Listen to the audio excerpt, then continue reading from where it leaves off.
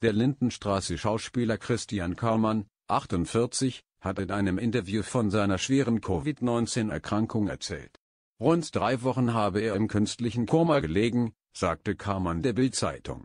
Als ich am 5. April aufwachte, erfuhr ich, dass mein Vater am gleichen Tag an den Folgen von Covid-19 in Köln gestorben ist. Er habe Mitte März seine Eltern besucht. Ich bemerkte dort schon Symptome.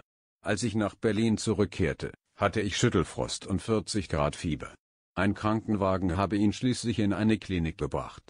Sein Zustand habe sich so sehr verschlechtert, dass er drei Wochen ins künstliche Koma versetzt worden sei. Ich musste beatmet werden.